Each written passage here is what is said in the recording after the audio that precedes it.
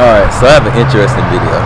So people always want to start a business. They think, you know, they have this great idea. And sometimes you do have a great idea. Sometimes you don't. Sometimes it still turns out great.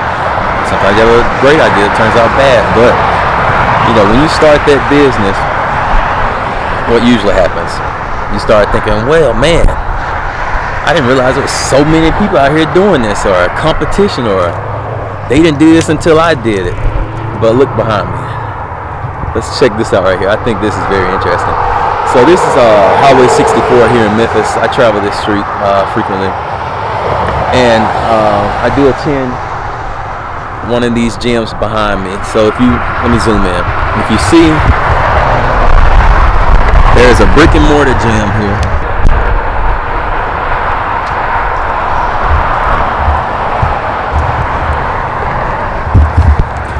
And if you see the sign up there, it's for ATC Fitness. And I think ATC Fitness has had a sign right there for going on two years. And I drive by and I laugh all the time. I was like, that's very competitive. You know, they're saying, hey, you know you have a gym right here? That's why we got that billboard right there. And that billboard is the same on both sides. Uh, ATC Fitness has a gym about five lights down east this way. And it's the same thing like that on Germantown Parkway. It's a brick and mortar Esporta right there. But you have an ATC Fitness billboard on both sides right there. And if you look at the sign, it says open 24 hours for ATC Fitness. 15, 24 hours a day, $15 per month. So you say, well, let me go to the Sporta and see. What are your first two questions for the Sporta going to be? Uh, what's your hours of operation and what's your monthly price? so, and then if you look in that strip mall, there's a uh, there's a Hotworx. So, and that's just like that. Um, I want to say probably about 10, 15 miles this way at the Sporta location on Germantown Parkway. So why am I mentioning this? So if you go right here on Highway 64, you have a Sporta, you have a Hotworx, and you have a, uh, a ATC ATC Fitness right next to each other, competing. That's business for you.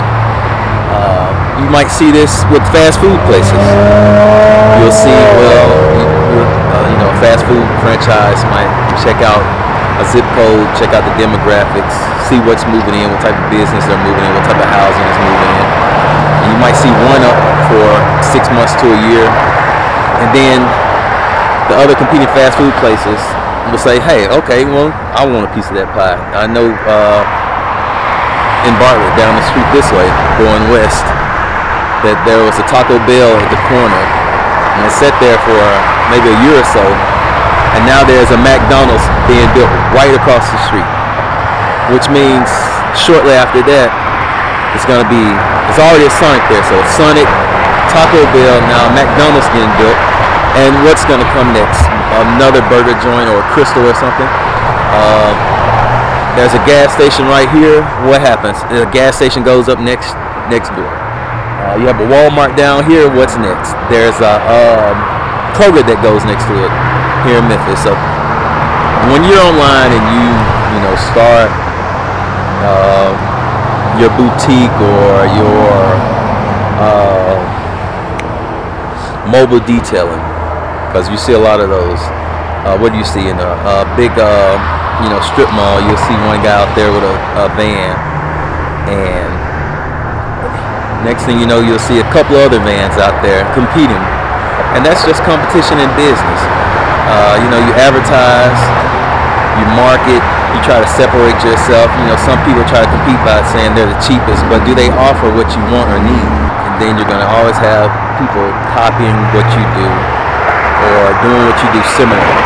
Uh, you know, during the wintertime right now, you'll you drive down the street, you'll see people on the side of the road selling firewood. Next day you drive down that same road, you see another person with another pickup truck selling firewood. You know, that's just the nature of the beast. And you know, you might be thinking, well, I put good karma in and Uh, I do right by people, so my business is gonna survive, thrive, and keep going. You know that may be the case, but a lot of times it's not the case. So think about that with business. You know, everybody talk about like they want to work for themselves and they like having no ceiling. You know, they like having no ceiling. You know, they can make as much money as they want to in this free enterprise, but also what's what's what's below you to save you. There's no floor either. So you have to think about that with business. But I thought this was very interesting. That that that ATC uh, fitness sign has been there for a couple of years, saying, "Hey, Esporta, hey, we see you, but we're trying to get people to go down the street to us." So thank you for watching. Have a nice day. Um, check out my business book at paracletepub.com. I grew up in a family business uh, that has survived, thrived, and struggled.